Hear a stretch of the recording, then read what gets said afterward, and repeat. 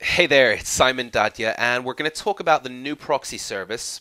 About 25 of us have all been piloting for the last two months, and I have to say they, they are the cleanest proxies I've ever used, and, and I cannot recommend them highly enough. I'm sure anyone you ask in the group will say the same thing.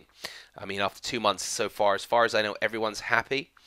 They are not perfect for everyone for example, if you're a heavy SEO autopilot user or you use heavy, you're a heavy user of link building tools, um, those are serious bandwidth hogs.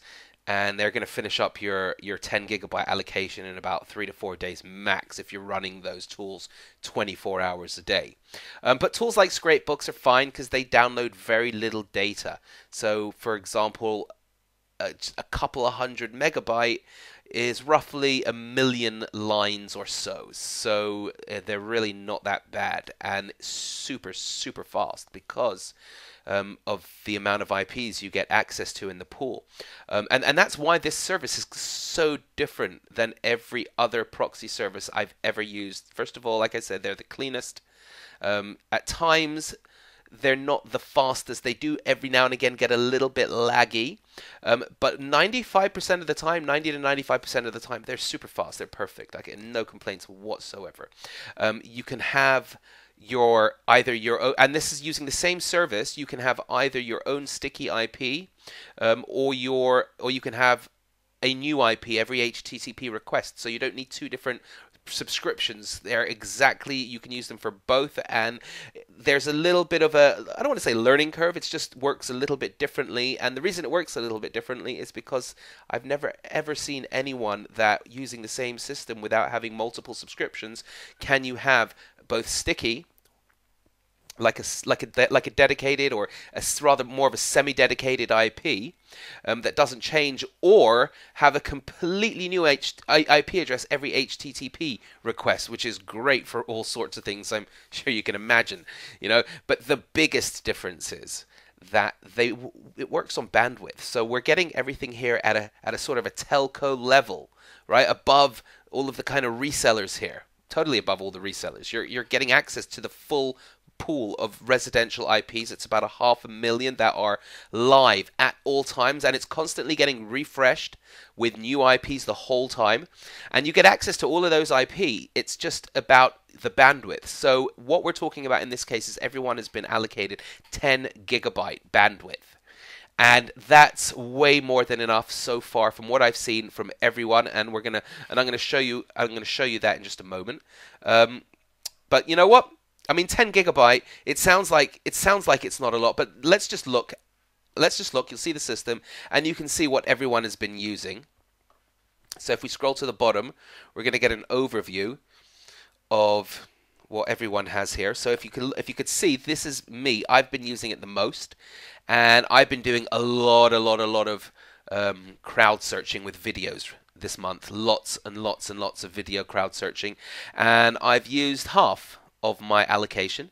And if you look at everyone else here, this guy, look, 1 gig, 1.1, under a gig, under a gig, under a gig. Everyone's using way under a gig so far, right? I'm like, I'm really using the most because I guess, I guess people aren't getting into it yet. People aren't doing as much surfing, crowd searching, whatever you like to call it, um, using these IPs, and they are again perfect for for everything, um, except for those link building tools. You've got to stay away from those link building tools with this software because, like I said, they are serious bandwidth hogs.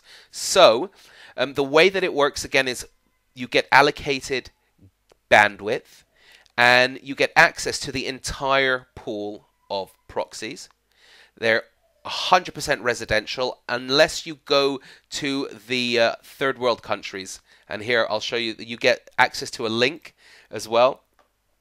For some reason there's no style on it today, but it'll show you how many servers you have um, access in order for you to pull dedicated. These are your dedicated IPs right? The what or semi-dedicated rather. This is what you use to go and see how many servers are available in the different countries every day. So US has got 206 servers today, and I'll explain. You'll get an email explaining ex- exactly what this means and how to use this. But I'm showing you these are the countries that you can use this for. So this is worldwide, right? Ireland, Denmark, Russia, Austria, Sweden.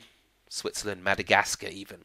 Got a couple of servers in Madagascar, Spain, Portugal, France, Saudi Arabia, Iraq, Australia, Poland, and, and, and, and these ones with just one, there really isn't a lot of um, huge variations there. But this is just for the dedicated, so you get access to using these, and these are also these are also they're semi-dedicated and they change. So they have a smart switching system where they change them out so that they don't get um, overused, especially if people are using them on certain websites. They don't allow more than one user at the same time. Very intelligent stuff. And as I said, I'm super happy. Completely, I absolutely love these IPs. And um, if you want to jump in right now, the way that I'm working it is that you have to send me an email. Um, and just let me know that you want to get involved in this, and then I'll get back to you. So what I'm going to do because this is this is obviously this video is going to be on YouTube and it's going to be out there. I don't want to just stick my email in there. I don't want to put my email and say everyone just email me from here. So what I'm going to do is I'm going to just create a special form and you're just going to go ahead and fill that out. Um, put your name and your email in there and I'll go ahead and reply to you. Once you've sent that obviously it's going to be it'll, it'll basically you're going to be opting into a list. I need you to put your name and your email there. That's the best way to do it. Otherwise i don't know how else it's going to work. Otherwise people are just going to be sending me emails all day long. It'll get way too unorganized. So, so the best way to do this the best way to do this the best way to get started is if you just put your name and email into the field below wherever you're going to see it whatever page you're on. If you're on YouTube, there'll probably be a link below.